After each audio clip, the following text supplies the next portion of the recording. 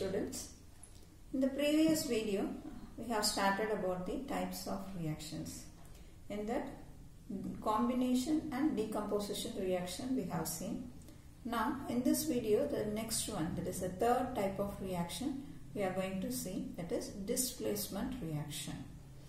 As the name indicates, in this reaction, the position of the elements changes or we can say one element takes the position or the place of the other element. So, how we can define the displacement reaction means those chemical reactions in which more reactive element displaces less reactive element from its aqueous salt solution. This we can see with a few examples. First one, it is a general form. Something it is in the salt solution, okay. One compound it is in the salt solution AB. Two elements are present in this compound means. Then plus C gives AC plus B. Here the C, this element is more reactive than B. So what is doing means C is displacing the B from A. That is C is taking the position of B. Okay. So like this, one element is displaced by another element. Then that type of reactions are called as displacement reactions. Clear? Now this reaction we will see clearly with some more examples. When zinc metal is placed in copper sulfate solution, then zinc sulfate and copper are formed. In this reaction, zinc is more reactive than copper so what will take place means zinc will displace the copper from its salt solution and zinc sulfate is formed and copper is set free. So this copper will be deposited on the zinc metal and we know the color of copper is a reddish brown color will be formed on the zinc metal. This reaction uh, can characterized by the color changes. In this reaction copper sulfate solution its color is blue color. Okay? Copper sulfate solution is blue color. Then silver a white. Zinc metal rod will be of silvery white. And after the reaction finish means we can see the blue color solution will be changed into colorless. And some copper left free now that will be deposited over zinc metal in the form of reddish brown color. Clear so here zinc displaced copper from its salt solution so this is an example for displacement reaction. So students, in this displacement reaction, more reactive element only can able to displace the less reactive element. For example, here this copper sulfate plus silver, there will be no reaction taking place. Why means silver is less reactive than copper. So this type of reaction cannot able to take place. So for this, we should know the order of the reactivity. Uh, which element is more reactive than which one. That order we have to know. So, the order of the reactivity metals can be known by the help of reactivity series or metal activity series. Clear? So, here I have given this uh, table. So, you have to learn this full table then only we can able to write the displacement reactions. So first one is potassium. I have written the element and symbol. First element which is more reactive is potassium, sodium, barium, next calcium, magnesium, aluminium, zinc, iron, nickel, tin, lead, hydrogen, copper, mercury, silver, platinum, gold. Clear? So this series is uh, decreases downwards. That is potassium is a more reactive metal and gold is the less reactive metal. So this is the table given in our syllabus. This is uh, selected elements. What we are using in your 10th class that elements order is given here. So you have to memorize this table then only we can able to know which element is more reactive than which one. So now we have seen no copper sulfate and silver. So here you can see the series. Copper is more reactive than silver. That is silver is less reactive. So less reactive metal cannot able to displace the more reactive. So that's why silver cannot able to displace the copper from copper sulfate. That's why this reaction they are not able to takes place.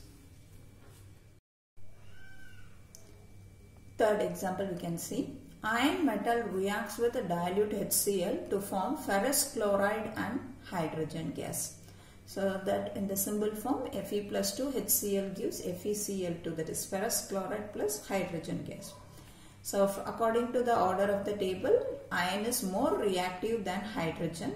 That's why you can able to displace hydrogen from hydrogen chloride and that place I am taking and hydrogen gas is set free. Next example iron oxide reacting with aluminium on heating it will give aluminium oxide plus iron and heat energy will be released. So plus heat energy along the product means it represent it's a exothermic reaction. This reaction has a particular name. It is coming under the category of displacement reaction. Particularly, especially it is having one name that is called as thermite reaction or thermite welding reaction. So where we are using this means in welding purpose okay for welding any um, iron parts iron machine parts or railway tracks if there is any broken parts happen any crack happened in a railway tracks for that we will be using this reaction why means iron will be released iron will be set free from this iron oxide aluminium taking this place so that iron coming out it's a highly exothermic reaction so iron coming out will be in the form of molten state. So that molten iron will be used for, for filling the cracks in the railway tracks. That's why this reaction is called as thermite reaction or thermite welding reaction.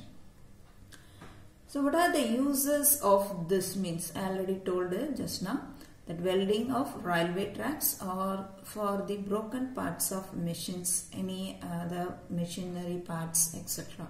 Clear? So this is a use of thermite reaction.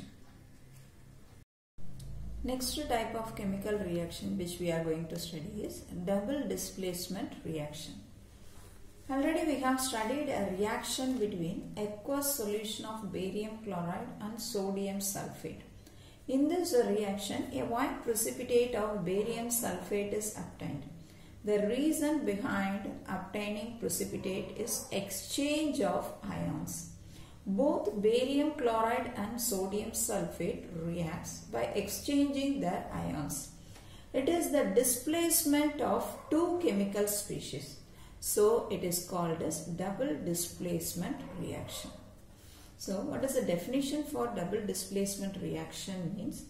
Those chemical reactions in which aqueous solution of two compounds reacts by exchanging their ions to form two new compounds are called as double displacement reaction.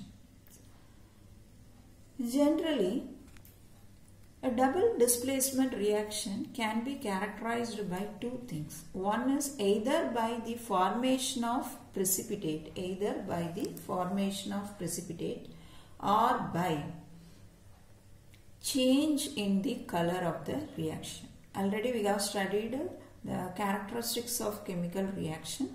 In that we have studied many characterized.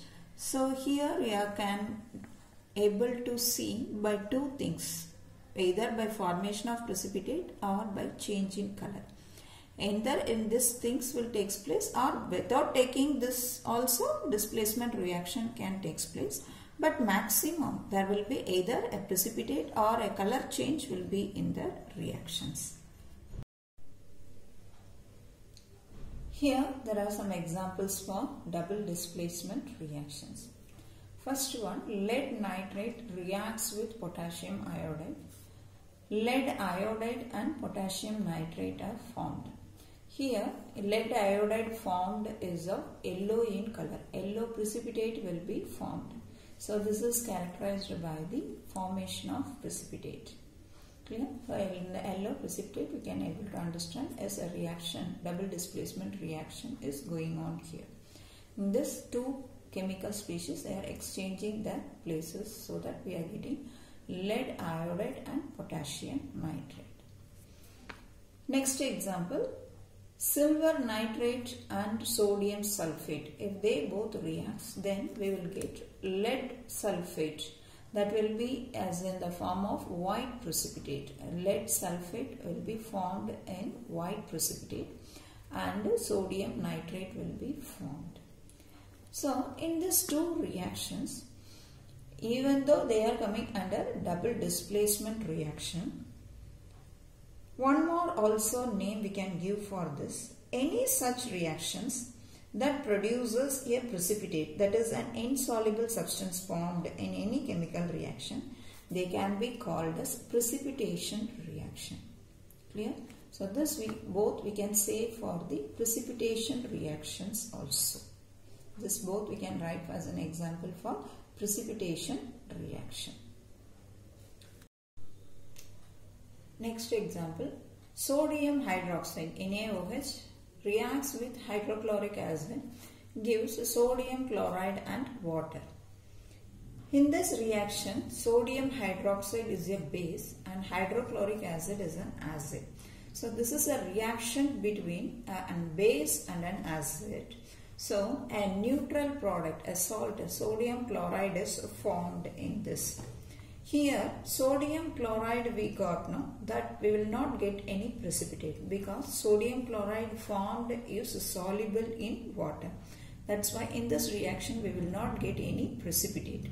So already I told uh, this two characteristics we can use it. One is formation of precipitate or change in color. Without that also double displacement reaction can takes place. One more thing in this reaction I want to say this is not only of double displacement reaction. Here we can use one more name that is this is the reaction between an acid and a base. This is a reaction between an acid and a base and it's giving a neutral product. A salt formed as will be of neutral product. That's why this reaction can be also called as neutralization reaction. Clear students? This we can say for an example for neutralization reaction also. So in this video we have studied about displacement reaction and double displacement reactions. Thank you students. Thank you.